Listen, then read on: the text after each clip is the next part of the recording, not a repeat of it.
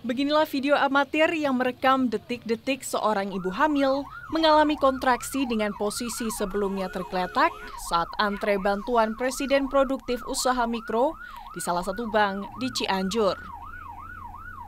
Terlihat petugas kepolisian Polres Cianjur dengan sigap langsung membantu dan membawanya ke klinik terdekat menggunakan mobil patroli petugas untuk menjalani proses persalinan.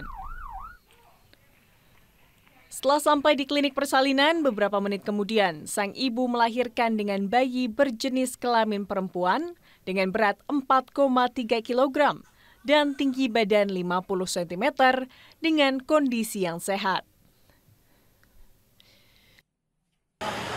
Kemudian pada saat kami selesai memberikan himbauan kepada uh, warga yang ada di seputaran Bang Beri ini, tiba-tiba anggota saya nyusulin saya bahwa ada ibu-ibu yang mau melahirkan. Begitu saya hampiri ternyata betul ibu itu udah keluaran ketubannya, cairannya, dan sudah tidak bisa bergerak lagi. Akhirnya kami langsung inisiatif dengan anggota dengan anggota Pamopit ngambil kendaraan. Uang apa ini? UKM ya. Oh bantuan untuk UMKM. Jauh-jauh ke sini apa emang harus di sini atau nggak bisa dicairin di sana? Nggak bisa di sana. Katanya harus ke sini. Oh, kenapa nggak sama suami bu? Dan belinya? Hmm, nggak bisa kan jaga warung. Oh, suami jual warung. Jadi ibu yang ke Cianjur.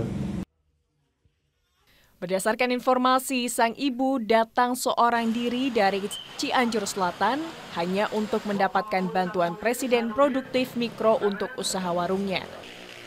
Saat mengantri, sang ibu ditemani seorang kerabatnya yang tinggal di kota Cianjur. Anggaryadi, Kompas TV, Cianjur, Jawa Barat.